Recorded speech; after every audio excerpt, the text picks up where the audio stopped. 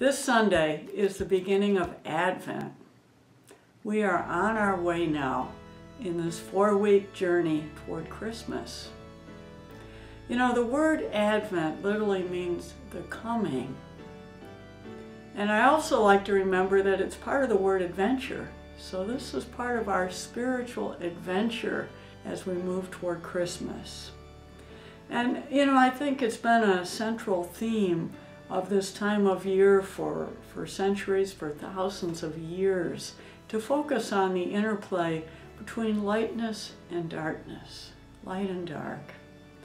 And I think if we can release sort of the simplistic temptation to just judge things as good and bad or, or knowledge and ignorance, but to, to be with, be present to all of it, that there is a greater richness of insight and understanding that emerges. I remember years ago when our country was going through a great recession, someone said, if you receive an invitation, and all of us are receiving an invitation every day to participate in the recession, just send it back. Mark it, thanks but no thanks. You know, I think about today, it seems like, geez, almost every day we're receiving an invitation to participate in fear and divisiveness and, and worry and anxiety. And I would just say, you know, I'm sending it back this year. Thanks, but no thanks. I'm not buying it.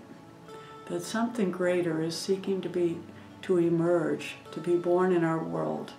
And it is the light of understanding and peace and compassionate actions towards each other and so as we prepare this year for the coming of the light, for a new understanding, for a greater awakening, for, for a new way for, for all of us to be together in this world that, that supports each other and where people's needs are met, I invite you to, to join with us on this journey where we remember that really that the light is within each one of us and that we bring that light to every corner of the world. So this Sunday we will begin by lighting the first candle of faith and throughout the next four weeks we will be hearing from some members of our community sharing about their perspective on hope in the world. Our theme for Advent this year is a world of hope. So let us bring that hope and that faith to all that we do this year. I look forward to seeing you this Sunday. Namaste.